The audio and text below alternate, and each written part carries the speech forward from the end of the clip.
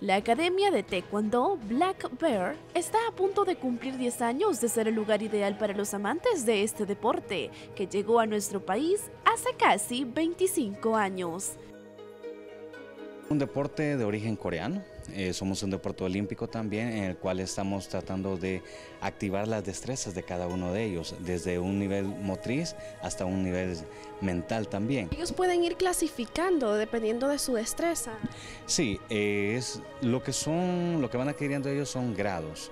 Si usted se fija, tenemos desde cinturón blanco hasta cinturón negro y a medida ellos van avanzando se van evaluando para ir optando al siguiente grado superior.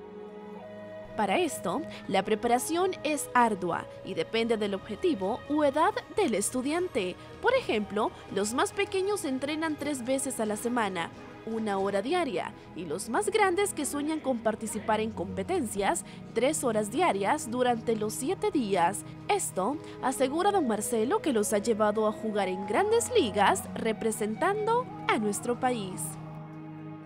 Este año hemos viajado a lo que es Nicaragua, Honduras y Guatemala, a lo que son campeonatos internacionales y a nivel nacional en los eventos de la Federación Salvadoreña de Taekwondo y otros eventos de escuelas privadas. A lo largo de toda la existencia de la academia hemos tenido atletas que han estado sobresaliendo a nivel internacional. Uno incluso fue elegido para ir a representar a El Salvador a Corea del Sur en el campeonato mundial que era en honor al embajador de Corea. Actualmente, 79 alumnos están inscritos y entre los más destacados está Carolina, quien ha ganado medallas de oro en competencias fuera de nuestras fronteras.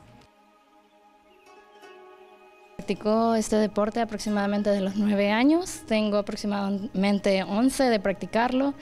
Me estoy preparando actualmente para el próximo año, para los centroamericanos, para ver si logramos en ese proceso entrar y yo soy de la área de formas, eh, de Ponce, una área que se requiere bastante flexibilidad, los movimientos certeros y también de combate. ¿Has estado en competencias? Sí, he ido a competir a Honduras y a Nicaragua reciente, en el cual se logró un oro y un plata. Pero esto no termina ahí. Los padres también se suman a las clases. Aseguran que más allá de ser un ejercicio para ellos, es un escape para encontrar paz y estabilidad emocional. Ya tenemos año y medio de estar entrenando y primero comenzó mi hija y luego de verla que ella estaba bien motivada, ella me decía, mami, metete, mami, metete. Entonces terminé entrenando yo también. ¿Alguna vez se vio usted en este escenario? No, nunca. ¿Y qué tal le ha parecido? Me gusta. Eh, la verdad cuando no vengo hasta, hasta me hace falta venir. Sí, porque a veces uno en su casa está estresado de, las de los quehaceres, de las tareas de los niños y aquí es como un, un desestrés, un momento que uno se olvida de todo. Damaris Gómez, TCS Noticias.